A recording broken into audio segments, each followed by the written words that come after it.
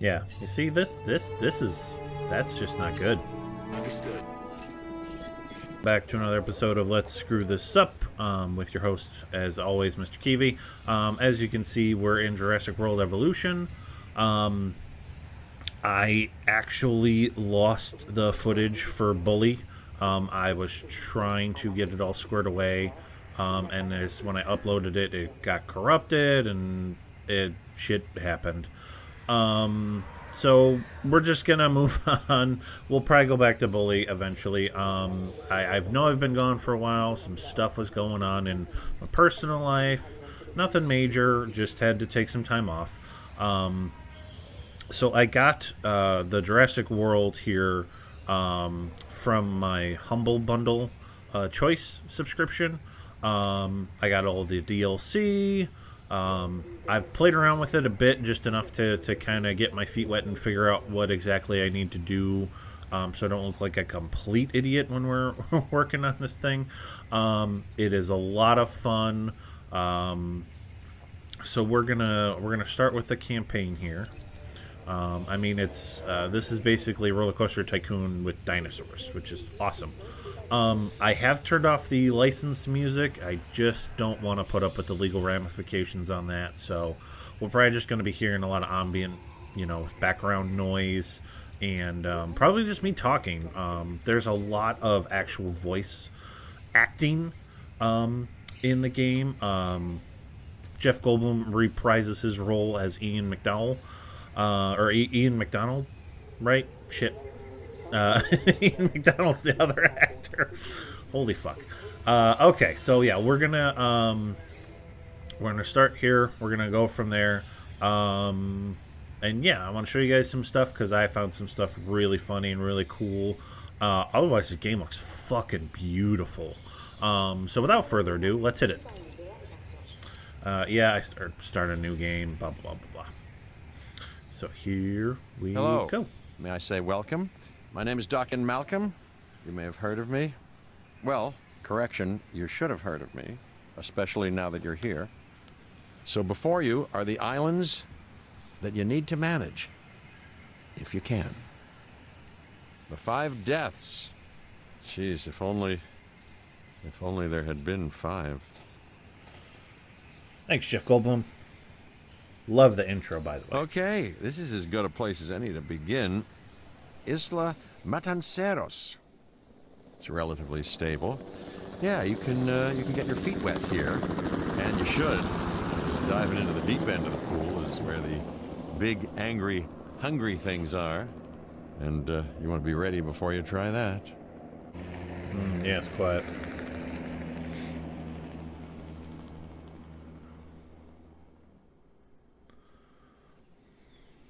Alrighty.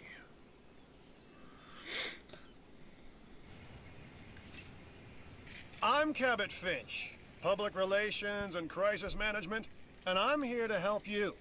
You'll start by building a Hammond Creation Lab. So, start. We've already started on an enclosure for you. You should just attach it to the side. But watch out for dinosaurs. Ah, just kidding. Yeah, so we'll have options later as we go here. Excuse me. Uh, so we'll build this here.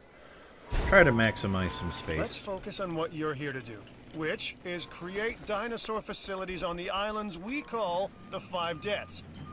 Actually, Las Cinco Muertes, because Spanish is the lingo of choice around here. Ay, mi amigo. That's really about all the Spanish I know. You'll need to connect it to the pre-existing network of paths and the power grid. Now comes the real test, incubating a dinosaur. You'll start with a Struthiomimus. Select the creation lab and pick a hatchery bay. There's enough genome data for your first viable dinosaur. So yeah, um, one of the things I, I'm not a huge fan of um, is the buildings won't operate period unless there's a path connecting them to the main path here, which I think is dumb, but I'm not in charge.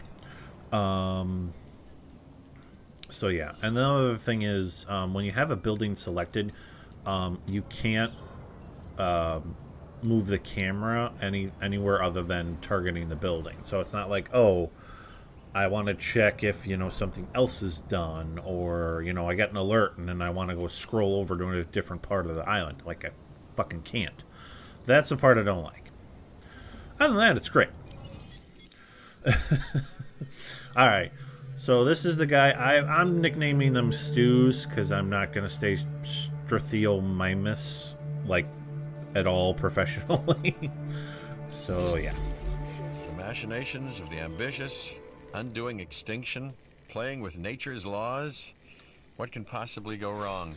Thanks, Come Jeff on, Doctor. You know we've learned so much and invested even more in our Jurassic operations since the last time. Yes, Mr. Finch. Yes, the the last time. There's always a last time and a next. Always. Um. Okay, so yeah, when we get to another point, I want to show you guys something I thought was fucking hilarious. Um, we'll, we'll get there. But yeah, look at him. Life. It begins. The most precious moment. The result of incalculable actions and reactions, trials and errors, genetic mutations and unknowable combinations, chaos, all leading to a living, breathing, thinking being, an entity, distinct and unique. And now we, you, just manufacture them. So, well done, I guess. So yeah, we can also actually look at their stats, which is I thought was interesting. Um, and they come out of the gate actually needing to drink some water and eat food. Um, and we can't quite build a feeder yet, so we got to go through the next part of the tutorial before we get to that point. The Hammond Foundation has three main areas of interest security, entertainment, and science. I've already nudged the heads of each division to reach out to you personally. They'll offer opportunities and incentives for you to be part of their team. Choose one of their contracts. It'll help you develop your facility. All right, so I'm going to choose security because I want to show you guys something I thought was pretty This funny. This is Lambert, head of security. Yours, theirs, and mine. Welcome to the islands. So here's our basic conundrum. We want to keep our animals under control while simultaneously encouraging instinctive behaviors. Because these animals have potential as combatants. Look, everyone's fear object, myself included, is to have these animals running free and loose in the park. But we can't exploit them globally without taking some chances. All right, so we'll build that one there. Contracts can be requested from the division heads inside the control room. Complete these to increase your reputation and gain additional revenue to keep expanding your park. Yeah, if I can, I don't want to talk over the the guys. So, one more thing your reputation, your rep, quote unquote. Keep an eye on it, okay? If you have a solid reputation with a division, you're more likely to benefit from them. Financially, I mean. But, like life, it's a balancing act. Each division is vying for your attention, and if they don't get it, they tend to take it personally. I just get some new fucking division heads at that point, but that's just that's you know that's just me. All right, so we got to build some some feeders here, otherwise our dudes won't eat. Well done. And you'll notice absolutely no hint of sarcasm. Unless you listen real closely. so, what I meant to say is that completing that contract has raised your standing, your reputation, if you will, with the security division. Right this there. means they'll be willing to give you more difficult missions.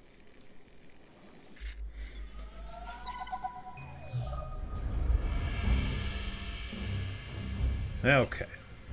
Lambert here. I've got a new assignment that I think is perfect for your skill set. Either once over, Ugh, excuse then me. let me know if you're interested. All right, so yeah, we start the mission. Um, so we need some eds or ed- Ediomimus. Um, Glad to have you on board. yeah. As you can imagine, the animals in the various facilities are constantly probing for weaknesses in our security systems. They're smarter and more devious than people give them credit for. but I refuse to underestimate their capabilities. That's why I'm always testing and evaluating our security protocols and barriers. And this is where you come in. I've got to give this guy Lambert his due. He actually sees these animals as both opportunity and threat. So, um, help comes up like this. I'm gonna need you to extract enough DNA Keep from talking. fossils to incubate and hatch a dinosaur. This is the first phase of this mission. Carry on. Um, help comes up like this. It gives you some next buttons. The Fossil Center Jesus lets you extract DNA from fossils and amber in order to create new dinosaur genomes. Also, this guy talks a lot. Exciting. Okay, so yeah, fossils are here for you know each genome of your dino. You hit next, viability. Uh, sometimes they bring back stuff you can sell. It's cool. Okay. Uh, so we should. Yep, there we go. So we have a bit of ed genome right now. We're gonna extract that DNA. Uh, we're going to also need some more. An expedition center will allow you to send dig teams around the world in search of new dino fossils. DNA can be extracted from these fossils, which our scientists can then turn into living, breathing dinosaurs. For a second there, I thought I said dick our teams. true lifeblood. I was like, yeah, sometimes they're dicks. Okay, uh, Expedition Center. So this is where you're going to send people out to go for fossils. And we'll take a look at the map. View map. All right, so we have some options. That's nobody who we're looking for yet. We are looking for the id. There we go. Good. Your first expedition team is out. They'll bring back what they find to the Ooh, fossil helicopter. center for extraction. So one of the things I do particularly like about the game too also is um, you can just hover over the building and Your job is see simple, really. what's going on. Create dinosaurs which attract visitors to your facilities, brings in capital, money, huh?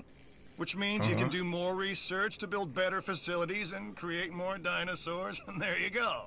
A circle of life, development and resources, nature and commerce. See? Simple. Yeah.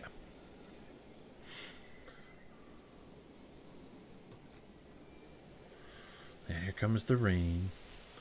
Um, weather seems to be fairly realistic um, and frequent. Unfortunately. Um, so yeah, so here's what I was talking about with the bar. You can see it, um, you know, under the the power consumption is the progress they're making, which is a nice little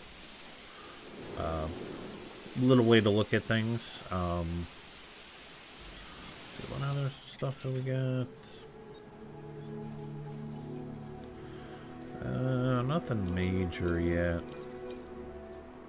Eventually, we'll get to these guys, and uh, they are big fucking carnivores. That's for sure. Um, research panel. Um, all kinds of stuff we can. Some, I mean, some stuff. Building upgrades. There we go.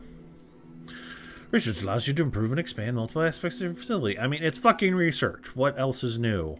Um, modified genomes, uh, some divisions center lets you improve your park in various require reputation ways. to meet. New buildings, upgrades, and more await. Yep, all kinds of fun stuff. Um, I mean, nothing we're really looking for just yet. Database, all kinds of different stuff we can look up. This is kind of your overview. Yeah, right now we're losing money, but that's because technically the park's not open. Because we're in tutorial land and we can't open the park.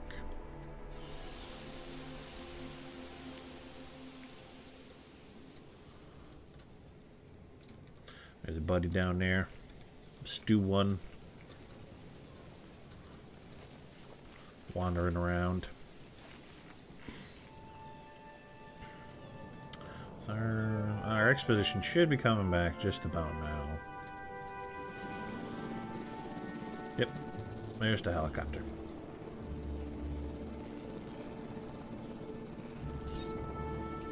Uh, so when they land, we'll have more fossils.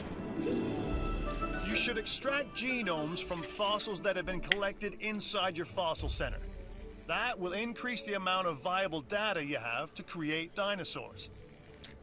So Amber is obviously the best one because otherwise, why would you make a game about the movie?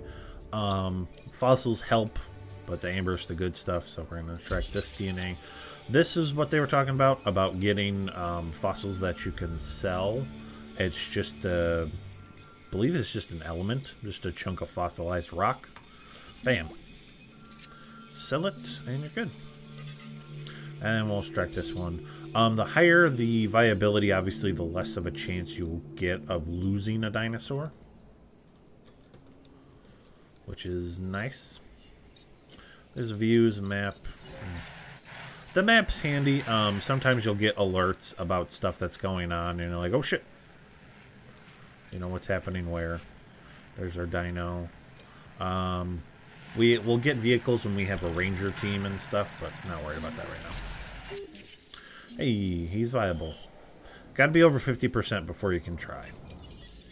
Okay. We're at 60. Next, you'll need to incubate the animal in a Hammond Creation Laboratory before releasing and housing it in an enclosure. You'll also want to make sure we've got an ACU presence on this island. Did he? Okay, they're doing it right now. Yeah, your finances will come up every once in a while, too. Once again, tutorial land, doesn't matter. Uh, so when we hit it, we'll be in an extra 3%, which is nice. So 63% is better than 60. Um, I do like to build the ACU here first, because if we need to... Uh, y- you're gonna need it. It should be kind of a priority. Build them up. Take a drink.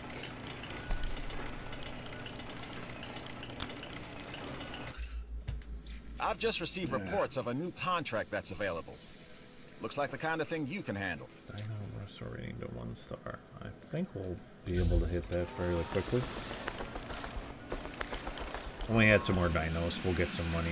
Yeah, they'll come up with random weird missions. It's like release a dinosaur with an extra rating, or um, you know, release the dino with a better attack. You're like, okay, Wha- whatever.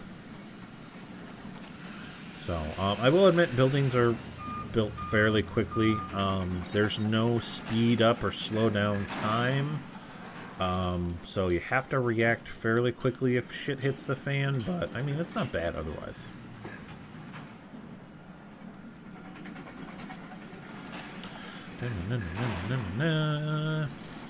So yeah, we've got. We're gonna probably build a another power plant sooner rather than later. So give us the info.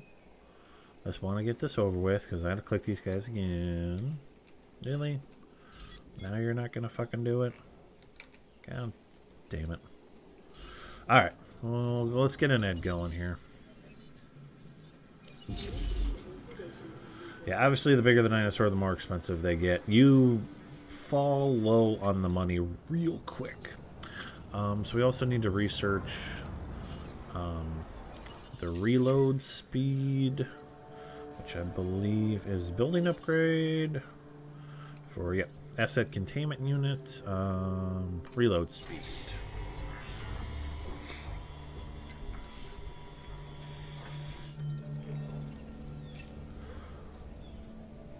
Alright. Release the Ed.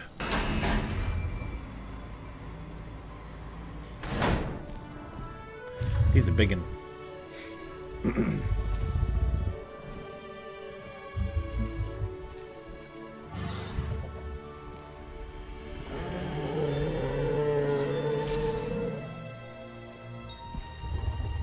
and our research is complete, as you can see. Right.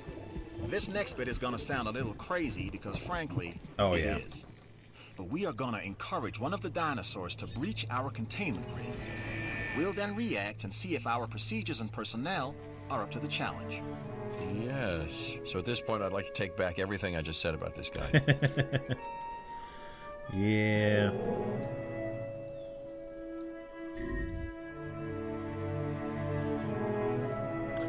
Alright, so. The ACU, or Asset Containment Unit, should be your first port of call to bring down a rampaging dinosaur. Wait, wait. Okay.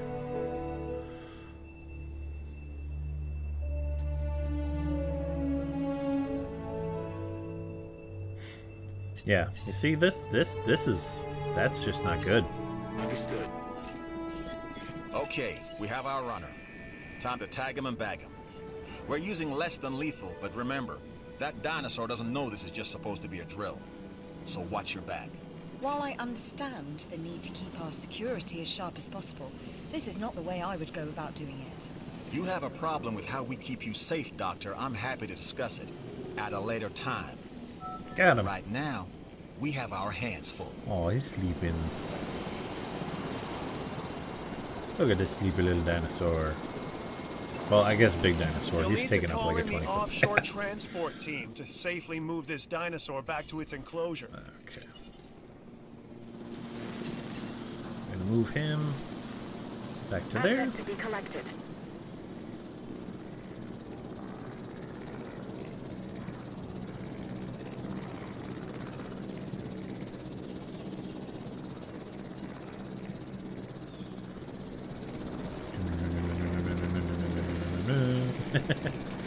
Alright, so yeah, so they'll pick this dude up and we'll toss him on back over. Well, not back over the fence. They will pick him up and then gently encourage him to be back over the fence.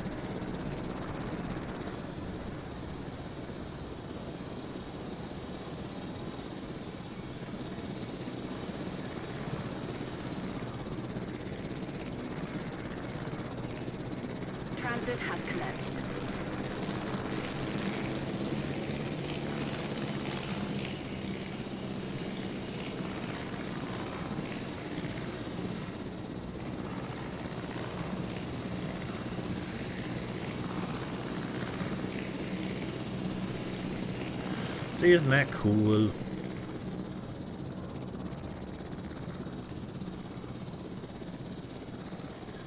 So yeah, that's the this whole mission is basically what do you do when shit hits the fan? That's what it's supposed to teach you. Delivery complete. Yay, that was exciting.